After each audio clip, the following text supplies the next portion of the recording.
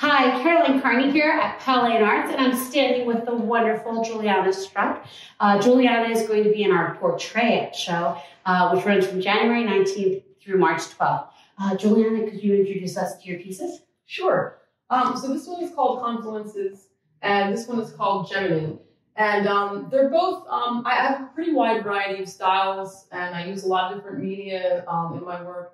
And um, this one is actually a photograph that I took, um, and then I, I cut out this piece of leaf, and so that's a, a pencil drawing behind it. And um, this is uh, an oil painting, and it's it's also kind of very accurate with the, the background.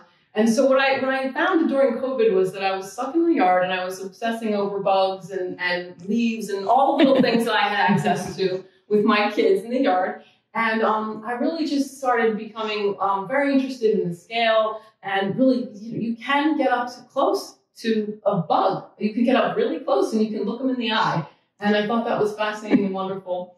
And um, I, um, you know, immediately started to take these ideas to the studio and um, I have a lot of different pieces that are kind of based on, you know, natural studies that I've done. Um, but then I also have a lot of stuff that's more kind of architectural, urban city scenes. So um, it's a wide range, but these are these are two of my favorite that I did recently.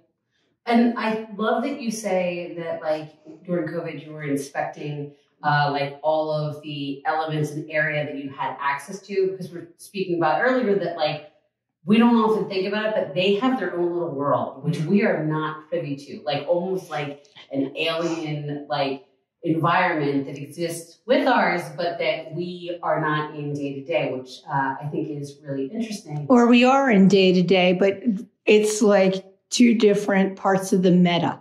So yeah, yeah and I love that you are exploring that. Um, I want to talk a little bit about, like, go into specifics about each of the pieces because they have a similar natural element, but you have two different approaches to it. Um, so this is a very, both of them are unique, but this is a very unique piece because you often don't, like, people do mixed media and usually that involves them doing a drawing and then collaging over. But this is literally something where you've taken a photograph and then gone in. Mm-hmm. Uh, how did you come up with that idea? What what, when you approached this, what was your impetus? Um, yeah, I mean, I think that um, it's really like I gained a lot of insight um, by really just my studies and getting close um, to nature. And I think like this one, I, the best way to describe this one, I think, to play off of this one, this is much more kind of literal. Um, I, I really was interested in this guy. I wanted to get to know him, and I wanted to get right in there. Whereas with um, with this one, it's sort of with confluences. You know, we're all used to looking at leaves and natural materials, right?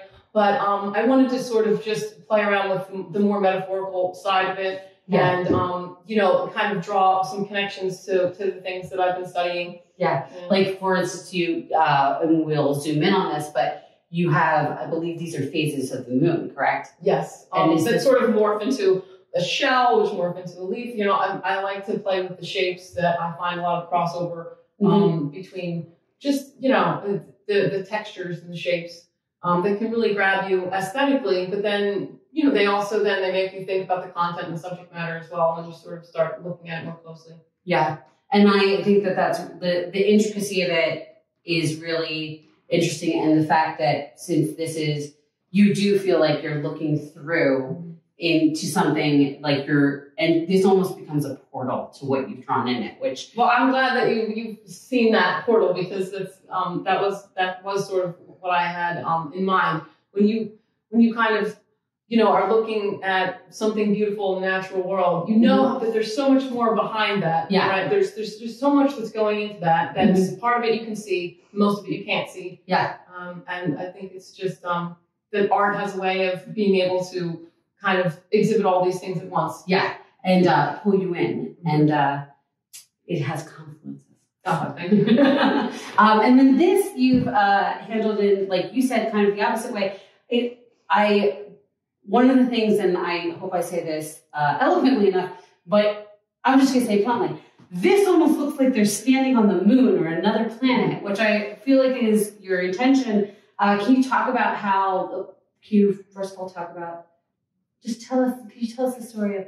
Sure. Sorry. it's okay. Well, no, no, Geminid is um that's exactly right because Geminid I wanted it to be um a little bit vague. I mean, this is um could it be the banister of my deck, perhaps, or it could be you know another planet's surface. um, but um, you know, it was uh, it, I was at the time um, I I met this bug, this particular one, during the Gemini meteor shower, and um, so and I, I've always been interested in astronomy, and I read about it and I'm trying to learn about it on my own, and um, so it was so it was truly like a, um, a study of both things at once that then um, I was able to bring together, and I thought it was a fun solution to the you know, to, to wanting to show all these different elements and and really uh, the alien like qualities of, of some of these creatures that I've been really face to face with. Yeah. Well, I was I was going to mention that um, you have two two different formats here on the, for lack of a better term, bug one. You actually are taking portray it and making a portrait. It's a portrait of this bug, and uh, then you are using details not only to describe the bug and what the bug's life might be like, because as you said, that could be a railing or that could be another planet.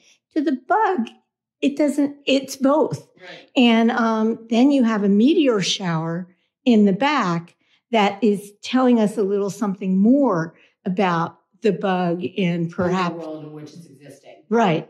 And then uh, so there's that, and then so you have like the macro exploration and portraying something. And I love to study these differences in scale too. I Yeah. love, this is one of my favorite. And that was what I was going to bring up with the other one that you've gone and taken a very deep look into the minutia of so you know we would all we all see leaves in vines in in our backyards and all that He's gone into the minutia and found other worlds and portrayed them so can can you talk about um, how your your brain is working from go they're both narratives in in their way how is it working from one narrative to another Well, and- narrative Yeah, and it's also that there are two different approaches to how you're thinking about it that work that both work in terms of understanding like not just you understanding but us understanding exploring. Right. Yeah. Well, that I think that's the key. Actually, you you observing.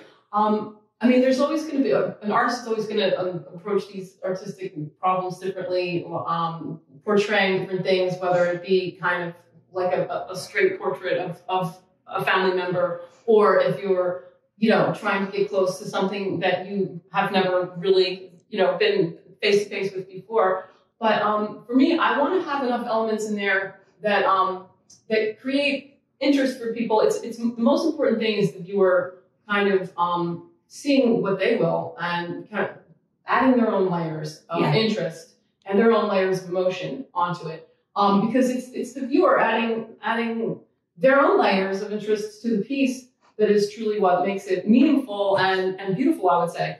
So um, yeah, I mean, so some of the motivations for me, what you know, the beauty that I will put out, pull out of it um, is obviously going to be quite different from a, a different viewer. And I wanted it to. I, I, I want to create work that um, you know would just make connections and touch people in different ways, and, and they really can bring their own their own screen to it. Yeah, which I think is one of the, and it's something that with every show, like a theme of like, we make the theme, but then when we talk about it with artists, the theme like takes on different levels. And one of the things we've been talking about the last couple of days is this idea that the artist puts their meaning into it, Mhm. and then the viewer or and the buyer, uh, like the collector, puts their meaning on it, and it becomes so it becomes an exploration of your life and your experiences and your observations as the artist, but then the person who um, ends up going and falling in love with this piece, they're going to find meaning in it in that moment, and then it will be a touchstone for additional moments throughout. So something that's really interesting about that process is that it allows over time for you to put the energy, your energy and your view into it, and then them to take that and make their own perspective with it. It portrays something for them on top of what it portrays for you.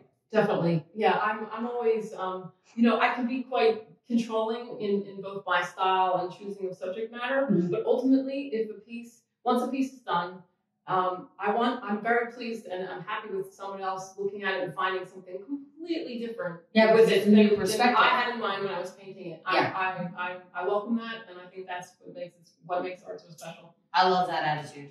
So It also refreshes and renews your own creativity when you hear other people and what I, I always wish that we could afford wall space for people to just write a comment Yeah. under artwork because they come up with something and and it will give other ideas to even more people. Yes, and it definitely um, it, it it revitalizes you as an artist to, to for the next project. yes. Yeah, and and you had said about you know you're studying in Europe, and um, the thing is is that oftentimes you're looking at antiquities, and the meaning of them has changed, and yet there is this central.